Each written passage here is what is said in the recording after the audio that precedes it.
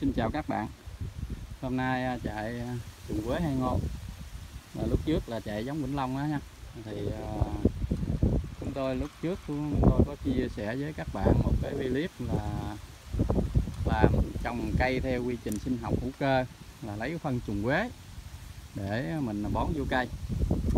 Thì hôm nay à, chạy giống vĩnh long chạy trùng quế hay ngon tiến hành à, đem cái phân trùng quế ra để đổ vô những cái à, mô à, đất như thế này.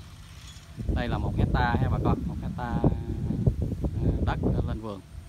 Thì bà con thấy xa xa đó là những anh em giác những cái bao phân trùng quế để đổ vô những cái mô đất, những cái lỗ để chuẩn bị trồng cây mít thái siêu sớm như thế này ha bà con thấy đây. Đây là một cái lỗ khoét nhỏ nhỏ thôi.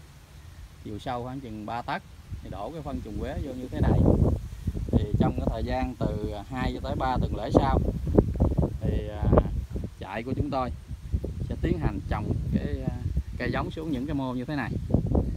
Thì à, bà con cũng biết trồng cái cây gì mà mình xử lý theo cái quy trình sinh học hữu cơ thì cái cây nó sẽ bền vững hơn. Mình trồng cái phân vô cơ hay bà con? Thì tôi cũng mong rằng những bà con nào có nuôi bò, nuôi dê đó thì bà con nên nuôi cái con trùng quế. Tại vì cái con trùng quế nó có hai cái mặt lợi để cho bà con mình à, thấy. À, thứ nhất là bà con nuôi con trùng quế để bà con lấy được cái thịt của con trùng quế. Bà con nuôi lương nuôi cá là các loại vật là gia súc gia cầm của mình ăn. Còn thứ hai nữa thì à, mình được cái phân hữu cơ phân trùng quế như thế này bà con. Thì bà con thấy đây ha. Thì cái phân này thì à, bà con sẽ bón vô những cái cây trồng, cây ăn trái và rau củ quả thì nó đều tốt hết nha bà con. Thì bà con không cần xử lý thêm một cái à, à, chế phẩm gì hết vô đây nữa. Thì à, cái phân này nó vẫn là tốt. Thì mỗi một cái mô như thế này, thì mô này cách mô kia thì 4 mét. Cho nên chúng tôi là, nghĩ là chúng tôi trồng theo cái quy trình sinh học thì cái cây nó sẽ bền vững hơn à, nó sẽ sống lâu hơn.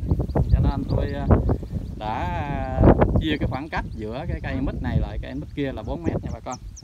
Thì à, những cái lỗ như thế này tôi để cái phân trùng quế vô như vậy. Thì à, từ 2 tới 3 tuần thì tôi mới tiến hành đặt cái cây giống xuống. Đây bà con thấy đây cái con trùng quế đó ha. Cái con trùng quế nó còn trong cái phân đó bà con thấy không? Nó còn bò thì những con trùng quế này qua một thời gian sau nó sẽ chui vào xuống dưới cái đất của mình nó sẽ sống ở dưới. Nó sống ở dưới thì bà con sẽ được cái lượng trùng thích hợp. Nó sống ở trong một cái bầu cây của mình. Thì à, khi mà những cái cây của mình mà những cái rễ nó có mục nó có hư đó thì con trùng nó sẽ ăn bà con. Nó sẽ ăn nó sẽ đào thải ra. Thì cái cây mình nó sẽ à, đào thải ra một cái dịch của con trùng quế thì nó cái cây mình nó sẽ à, mọc một cái cái cái rễ mới nha bà con. À, bà con thấy đây là ừ, đây con con trùng quế đây bà con thấy nè. Bà con thấy à?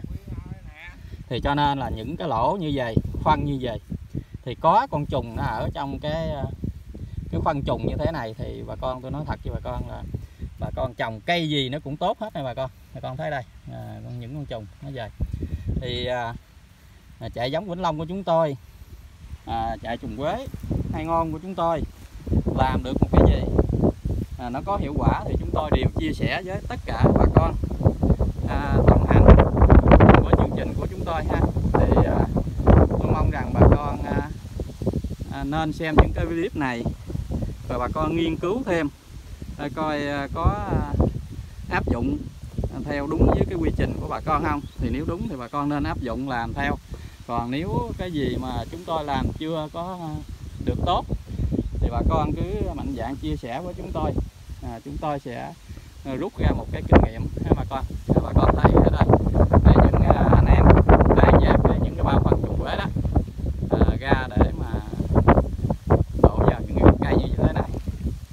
Thì tôi xin thưa với bà con là cái quy trình chúng tôi làm một hecta này thì à, vừa trồng cây mít thái mà vừa trồng cái cây à, cây chanh à, cây chanh bông tím à, bây giờ bà con thì cái chanh bông tím thì nó tôi nói thật với bà con nó có trái cũng được quanh năm mà cái giá chanh hiện nay thì nó cũng không phải là rẻ.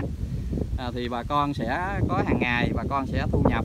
Thì tôi nghĩ rằng một cái lợi nhuận à, là cũng khá cao cho cái nông hộ gia đình mình ha. À, tôi xin ờ, chúc bà con được nhiều thành công. À, tôi xin hết. Chào